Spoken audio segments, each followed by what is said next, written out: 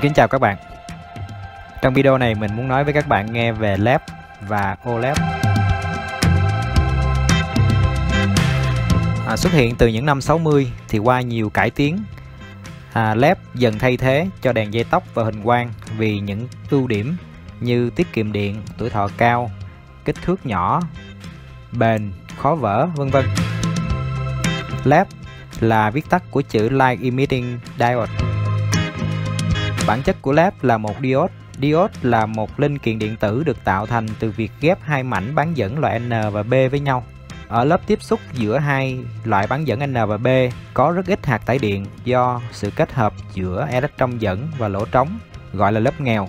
Khi ta đặt một hiệu điện thế ngược vào hai đầu của diode thì các hạt tải điện bị hút về phía hai cực làm lớp nghèo rộng ra và không có dòng điện chạy qua diode khi ta đặt một hiệu điện thế thuận vào hai đầu diode, U này thường lớn hơn 0,7V, thì các electron dẫn tràn sang vùng B kết hợp với lỗ trống và tách nhau ra ở cuối vùng B để chạy về cực dương. À, vậy diode chỉ cho dòng điện chạy qua theo một chiều từ B sang N mà không cho dòng điện chạy theo chiều ngược lại.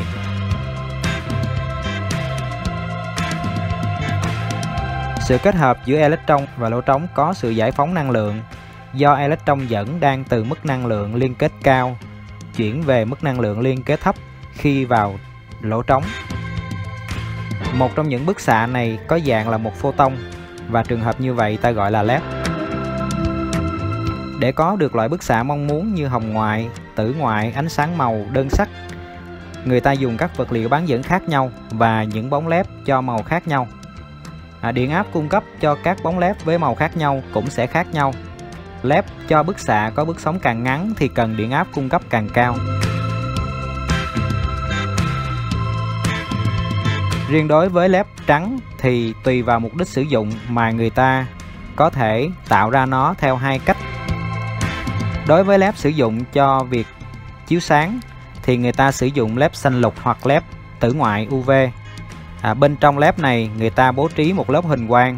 Lớp hình quang này sẽ hấp thụ ánh sáng do led phát ra và phát ra ánh sáng thứ cấp là ánh sáng trắng. Nguyên lý này cũng giống như trên bóng đèn huỳnh quang.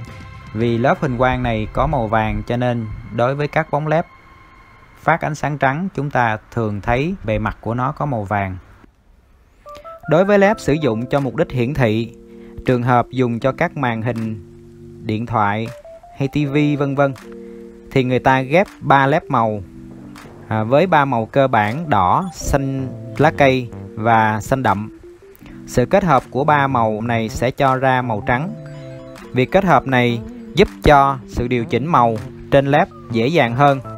Người ta chỉ cần điều chỉnh điện áp cung cấp cho led thì led sẽ cung cấp các màu khác nhau. OLED xuất hiện gần đây. OLED là viết tắt của chữ Organic Light Emitting Diode, là lép hữu cơ đây là loại lép sử dụng vật liệu bán dẫn là chất hữu cơ.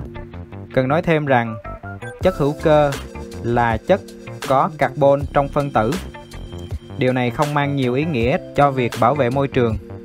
OLED được dùng với vai trò hiển thị số trong các thiết bị như màn hình máy tính, TV hay smartphone, vân vân. À, với những ưu điểm nhẹ, mềm, dẻo, góc nhìn rộng, độ sáng cao, hiệu suất cao, thời gian phản ứng nhanh hơn led thường. OLED đang được xem là loại led tạo màn hình tốt nhất. À, OLED hiện đã được trang bị cho một số dòng TV hay smartphone cao cấp. Vừa rồi là chia sẻ của mình về led, hoạt động của nó cũng như là OLED là gì. À, cảm ơn các bạn đã theo dõi. Thân ái chào tạm biệt.